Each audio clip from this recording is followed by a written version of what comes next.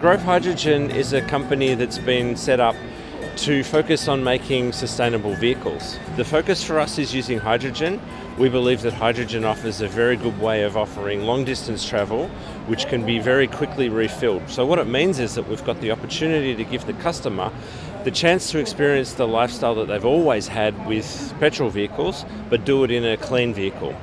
We offer a different alternative. What we can do with our vehicles is offer a much longer distance of travel than most of the battery vehicles. The cars behind me are capable of travel up to 1,200 kilometres, in some cases beyond, at least looking at the NEDC cycle.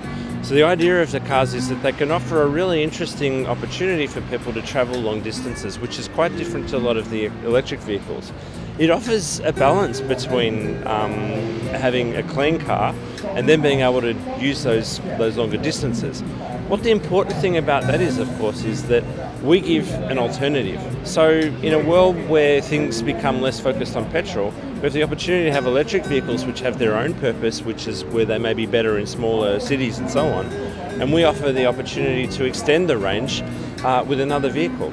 But as well as that, our vehicle is technically an electric vehicle as well. So we're using kinetic energy and so on. So we operate a hybrid system. So it works in both ways uh, that we do offer electric travel. We're not plug in, but we use kinetic energy. But then we have hydrogen to make sure that the car can travel a decent distance. And what we've tried to achieve is respecting the lifestyle of the customer by giving them the chance to have a vehicle that can be on the road again very quickly when it needs to be refilled and then the opportunity to travel a decent distance with that vehicle. And that's what we think is the advantage that we've got with hydrogen. From an infrastructure point of view, the logic that we have, our company is, we have a partner company which is also a producer of hydrogen in part of our, our larger group.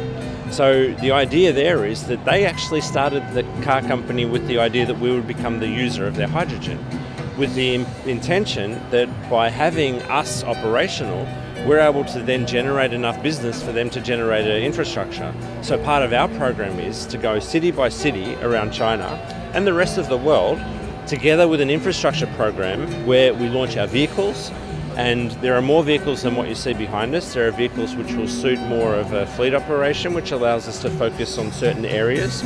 Uh, we've announced already our first fleet deal for over 10,000 cars, which allows us to put certain number of vehicles in certain places, which allows us to justify the infrastructure.